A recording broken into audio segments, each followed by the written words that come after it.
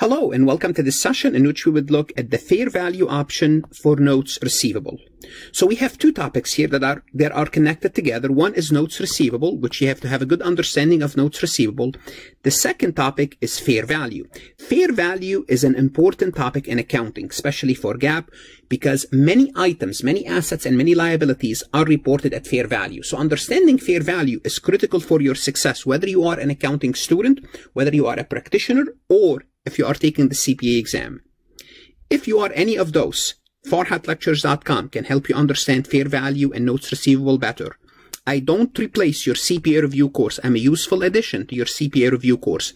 I explain the theory behind the concept so you understand the material better, which in turn you can take advantage of your CPA review course, which in turn you can do better to pass the exam. Your risk is one month of subscription. You give it a try. You try it. You like it, you keep it. You don't, you cancel. Your return is passing the exam. So the risk return, I believe it's pretty straightforward. If not for anything, take a look at my website to find out how well or not well your university doing on the CPA exam. I do have a list of courses for other accounting courses, advanced accounting, taxation, governmental, managerial, auditing, so on and so forth. Also, my supplemental review courses are aligned with your Becker, Roger, Gleim, Wiley, so you can switch back and forth real easily between my material and your CPA review course. If you have not connected with me on LinkedIn, please do so. Take a look at my LinkedIn recommendation, like this recording, share it with other, connect with me on Instagram, Facebook, Twitter, and Reddit. So let's talk about the fair value option for notes receivable. So the first thing you want to know is it's an option. What does an option mean? It means you can choose. So companies can choose to report notes receivable at fair value for any particular instrument, for a specific instrument. They don't have to do it for their notes receivable. They can choose one, two, any of them, and they can report it at fair value. Now hold on a second. We know what notes receivable is. We should know what notes receivable is if we're going chronologically. But what is fair value? And why can we report notes receivable at fair value? So what is fair value? Fair value is when you can report increases or decreases as unrealized gains and losses and specifically for notes receivable in the income statement. What does that mean?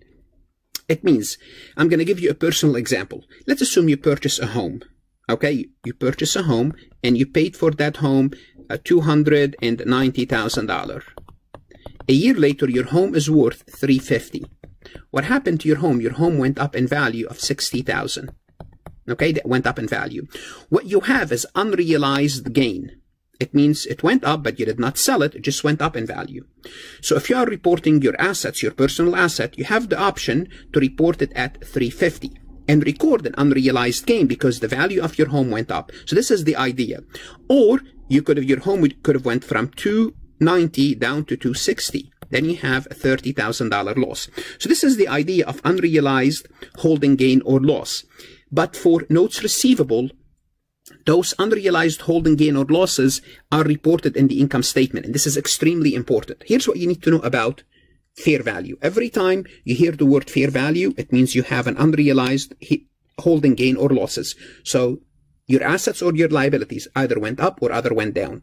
To record that increase or decrease, you have to understand certain assets and certain li liabilities are reported on the income statement in terms of gains and losses, and others are reported on the balance sheet. So the next thing you ask yourself is, where is it reported? Now I'm going to tell you, notes receivable is reported on the income statement. It does not mean that all unrealized holding gain and losses are reported on the income statement. Others are reported in the equity section of the balance sheet. So we have to be very careful about this, but I just told you where notes receivable is reported. Now, why can we report notes receivable at fair value? Well, if you think about it, it's a form of an investment.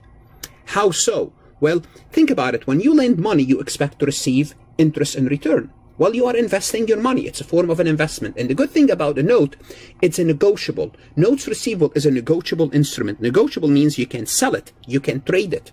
You can buy a note. You can sell a note. So it's negotiable. So the best way to illustrate this is to just to tell you why do they change in value so you understand why you would have unrealized holding gain or loss. Let's assume you have a note with a stated rate of 10%. You lend someone money $100,000 and they, they're paying you 10%. In other words, they pay you $10,000 a year in interest revenue. Now you have that note, $10,000. Now let's assume the overall interest rate went down in value to 7%. So simply put, if somebody wants to borrow money, they can now borrow money at 7% because interest rate went down. Now you have that note in your hand, and that note is paying you 10,000. Well, if somebody else wants to lend money, okay, if they want to lend money now, they can only get, if a $100,000, they, on, they can only earn per year $7,000. Guess what? Because the other option, the market rate is lower, the value of your note will go up. Now you can sell this note. Anyone will be willing to buy it from you for more than a 100,000. Why? Because your note is earning 10%.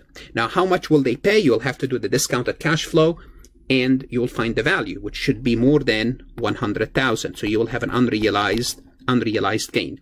The opposite is true if interest rate went up to 12% and you your note is temp, paying 10%, well, guess what? If somebody wants to buy your note, they will never pay you the full amount. They'll pay you a discount amount. They'll pay you less. It means you, the value of your note went down. The point that I'm trying to make is notes are affected mainly by the changes of interest rate. Okay, and we'll see this later on when we talk about bonds, how, how interest rate determine the price of a bond. But simply put, think about it from a logical perspective. You have a piece of paper that paying you 10%. If someone wants to lend money, they can only lend it at seven. So if you want to sell yours, you're going to sell it for more because you're compensating the other party more. So this is why it goes up and down. So when the election takes place, when the fair value election takes place, when you initially recognize the note, so when you initially get the note, you will need to say, I would like to have this note reported at fair value, or if there's a new basis of accounting that could trigger the recognition, don't worry about this new basis. Simply put, when the company initially gets the note, they would say, we chose to report this note at fair value. What does that mean? It means in their notes, when they have the notes, they will say, for example, this and this and this notes, they are reported at fair value. We chose to report them. You don't have to, to report all of your notes. You can select specific instrument. And once you make that election, once you say, I would like to report my notes receivable, then you must, and this is a strong word in accounting, we don't use it much, you must use the fair value till disposition of the note. So simply put, you will keep reporting this note up and down, reporting gains and losses in the income statement until you get rid of it. So once you select it, you have to stick with it. If it's not elected at the date of the recognition, usually you cannot use it because we're going to assume that you only selected at the date of recognition.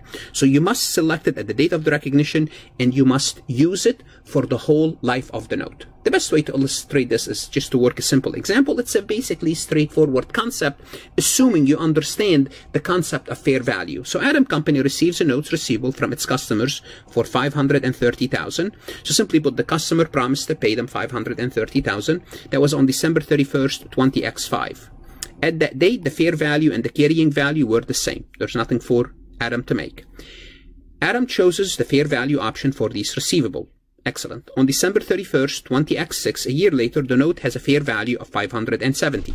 So the note went up $40,000 in, in value. What does that mean? We're going to write up the note. If the note went up, there's an increase in the note. We're going to debit the notes receivable an additional 40,000 to, to bring it up to fair value. And we're going to book on unrealized holding gain or loss in income of 40,000 on the income statement. Therefore, we reported $40,000 of income on the income statement. And this is how we would report this. Now, the opposite would have been true if the fair value of this note was, let's assume, was went down to uh, went down to 500,000.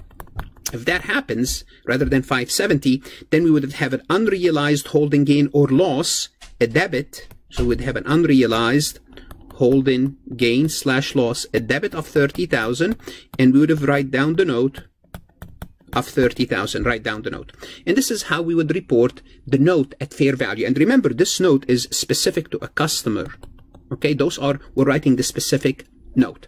At the end of this recording i'm going to remind you whether you are an accounting student or a cpa candidate to take a look at my website farhatlectures.com i don't replace your cpa review course. I'm a useful addition to your cpa review course I explain the material differently than your CPA review course. As you can tell, I go a little bit more in depth. I'll give you more examples. If that helps you, well, invest. Invest in yourself. Invest in your career. The CPA is worth it. Good luck. Study hard. And of course, stay safe.